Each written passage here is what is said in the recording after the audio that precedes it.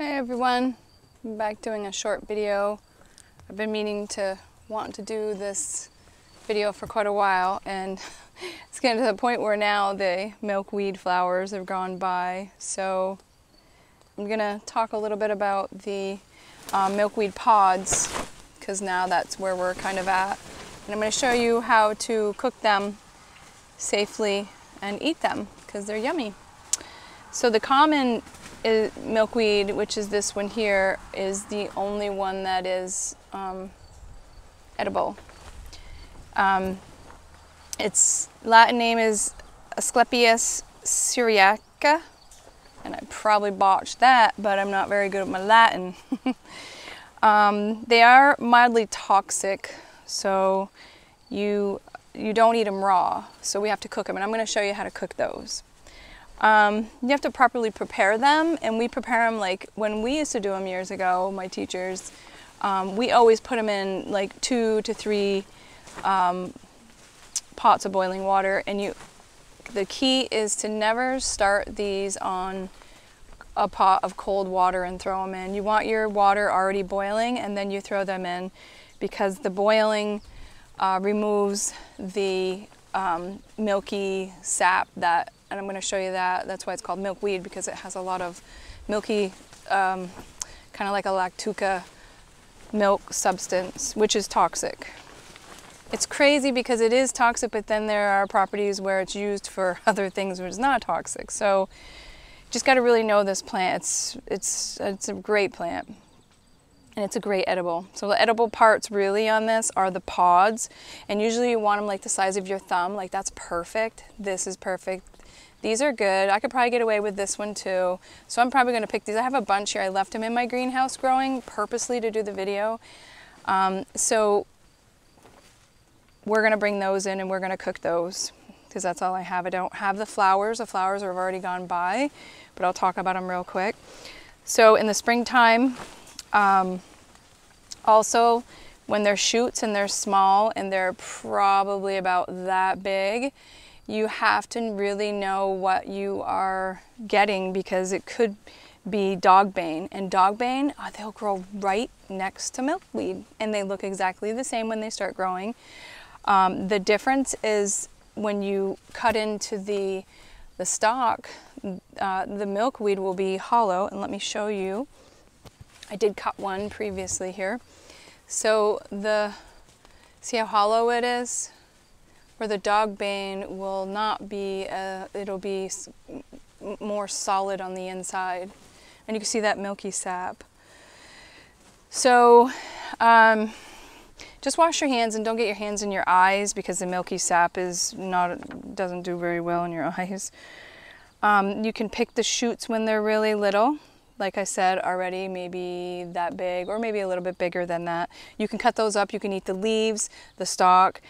Um, you can throw them in boiling water for about five minutes and then take them out and then cook them any way you want. I, I would put them in a couple boiling waters just to make sure that you get all the sap out because that's how we were taught. We don't like to play around with mother, we don't mess with mother nature.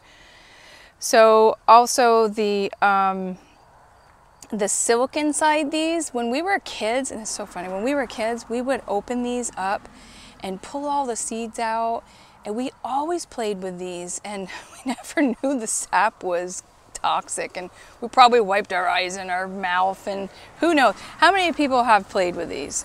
I know quite a few people have. Um, and towards the end of the fall, these guys will be loaded with seeds. I know I played with them and we used to play with the silk inside of them. Um, the silk inside here is a substitute for cheese. Yep, they use it as a cheese substitute. And you'll see that when we cook them, we'll open them up and I'll show them to you.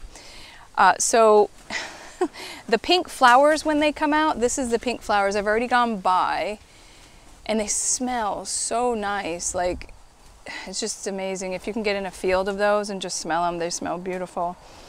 Um, so there's not a whole lot more really to talk about this plant except for the fact that you want to be careful that the lookalikes, you know, the butterfly weed and the, um, the butterfly weed has red and uh, orange flowers. Those are toxic. You don't want to eat those.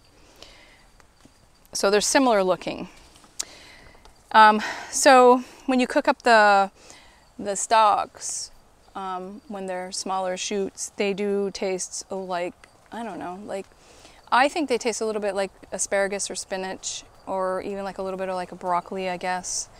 Um, so the medicinal uses of this is you can uh, use the sap. They use it on warts to remove warts, and they, the roots were chewed to treat dysentery. And so they also made salves with this, and, and it was used to treat swelling, rashes, cough, uh, fevers. I suppose they put the salve on the chest, uh, asthma, lung disease. Uh, the fibers from the stems were used to make belts because the fibers are so thick. And I've known a lot of plants where the fibers are really thick on these, um, on the stalks, like nettles. You can make a cordage with the nettles. Um, so the roots were uh, used to treat uh, rheumatism and pleurisy. I'm sure there's other things that they were used for. And the fluff that's inside these when they get really big, uh, the military, they stuffed military jackets with them. I wonder how many of those took to fill their jackets with. I guess it was an experiment they were doing. Um, and it's also excellent in absorbing crude oil and toxins. So that's pretty cool. So I'm not going to say a whole lot more about these guys. Um, I, I will show you this though. So when you break this, you're automatically going to see this milky substance and that's why it's called milkweed. Oh, I got a bunch of bees in here.